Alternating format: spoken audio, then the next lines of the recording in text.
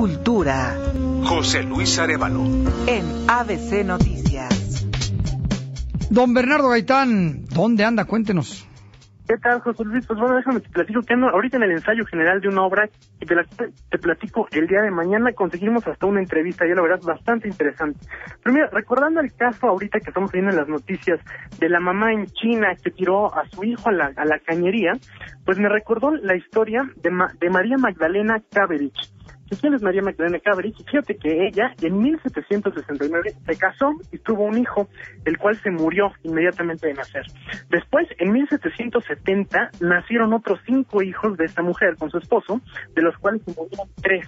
El problema es que su esposo pues tenía sífilis, ella tenía tuberculosis, ya había tenido tres abortos previos, aparte de estos tres hijos que se le murieron, y bueno, aún así se volvió a embarazar. Una vez más, en principios de 1970, 1770, y todos le dijeron, empezando por su esposo, su familia, los médicos, que lo mejor que podía hacer era abortar.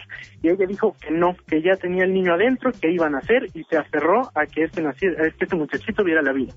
Así que fue hasta el de diciembre de 1770 que nació este niño. Y este niño, pues, es el gran compositor que nos dio tanto, tanta música y tanta cultura, Ludwig van Beethoven.